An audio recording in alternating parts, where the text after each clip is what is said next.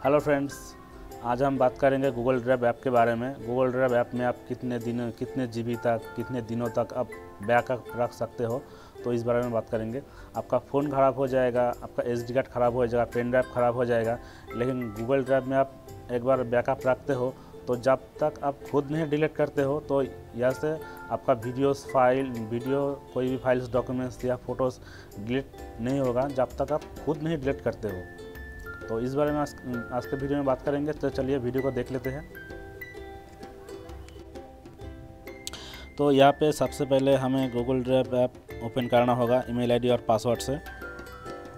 Open करने के बाद यहाँ पे जो प्लस आइकन है, इस प्लस आइकन पे क्लिक करना होगा।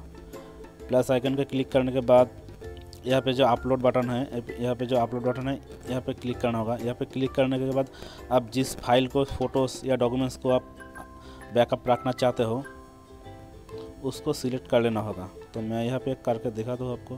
तो मैं इस वीडियो को बैकअप रखना चाहता हूँ। तो इस पर मैंने क्लिक किया। तो देखिए यहाँ पे अपलोड शुरू हो गया है।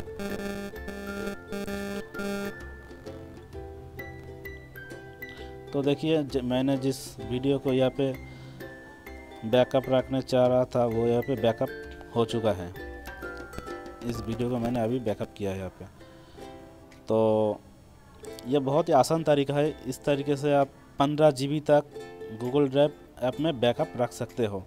और जब तक यह आप नहीं डिलीट करोगे यहाँ से तो यह यहाँ से आपका वीडियो, फ़ोटो या डॉक्यूमेंट्स डिलीट नहीं होगा, जब तक आप खुद नहीं डिलीट करते हो। और यह सालों तक रहेगा, चाहे पाँच साल या दस साल हो। आपको बस आपका ईमेल आईडी और पासवर्ड याद रखना होगा, जिस ईमेल आईडी पे आप अपने बैकअप रखा गूगल ड्राइव पे। तो उस ईमेल आईडी और पासवर्ड को बस याद रखना होगा। और अब तक आप जब तक यह से फ़ाइल नहीं डिलीट करोगे तो नहीं डिलीट होगा। तो आप ट्राई करके देख सकते हो। यह बहुत ही आसान तरीका है।